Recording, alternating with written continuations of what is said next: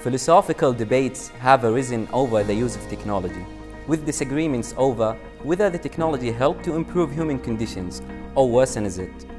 The team's perspective is that the technology does help to improve human conditions. I'm Ziad Tariq and our project is Sand Sieving Machine.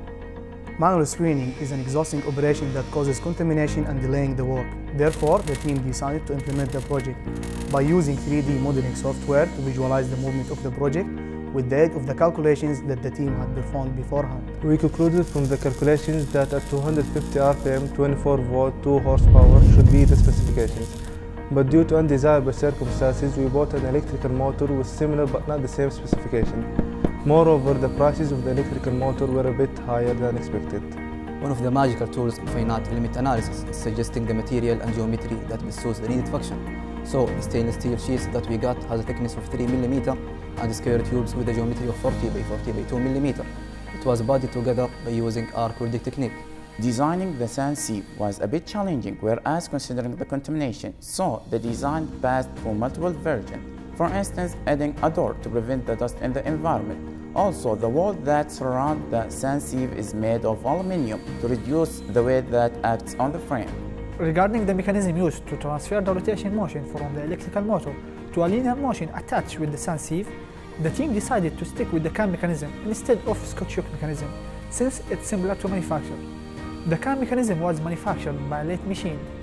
To make the speed more flexible, three stages were tapped to control the speed. In order to make the sand sieving machine more appealing, a dark red color was painted to the frame.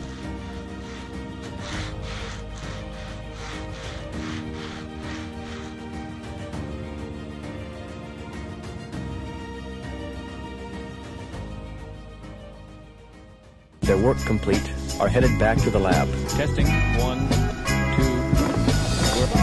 Diane, it is 4.28 a.m. You should have something for us by